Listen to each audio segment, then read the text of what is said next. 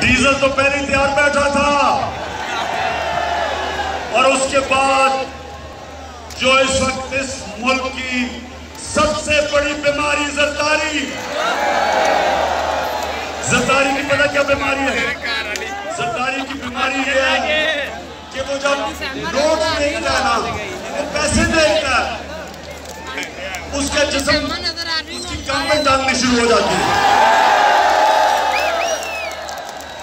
उसकी पूछे ऊपर नीचे जानी शुरू हो जाती है। उसको बीमारी है। उसको यकीन, मैं आपको यकीन बनाऊँ, उसको पता भी नहीं कि 30 साल में उससे कितना पैसा चोरी किया पाकिस्तान का और मुल्क से बाहर ले गया। लेकिन अभी भी बीमारी है। चला जाता नहीं है।